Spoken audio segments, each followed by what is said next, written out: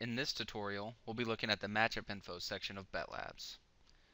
Note that we are looking at college basketball for this tutorial. Let's click on matchup info and you'll see the following filters appear.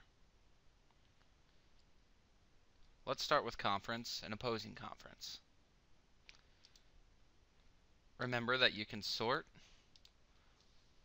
or also search to find the filters that you are looking for. Works the same way with the opposing conference. If you want to go against a team, you can again sort by name, money won, or simply search.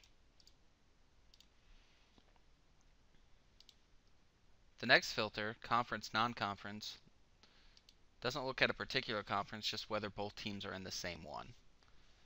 So this way you can look at conference games or non-conference games to further filter your system. Division non-division works the same way as conference non-conference. You can also filter your system by stadium. Again, you could sort, but since there's so many stadiums, it's probably best to use the search function here. You can simply type in the stadium you're looking for, hit select, and then hit save filter. For college sports, we've also included the rank and opponent rank filters. The thing you need to remember here is that a value of 0 indicates that a team is not ranked. So if you just wanted to look at ranked teams, you would just do 1 to 25. You can also easily look at top 10 teams by going 1 to 10.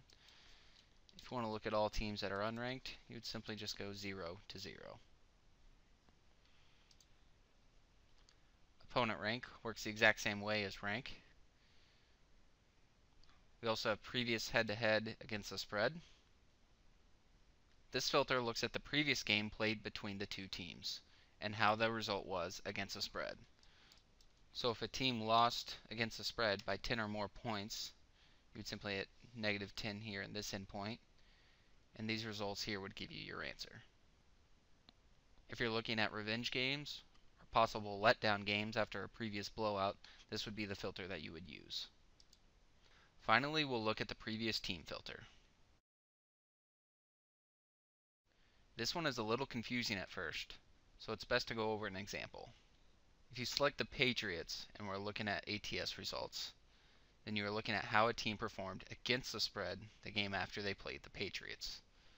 So in this instance, the games after you played Arkansas, that would be your record. This isn't your record against Arkansas.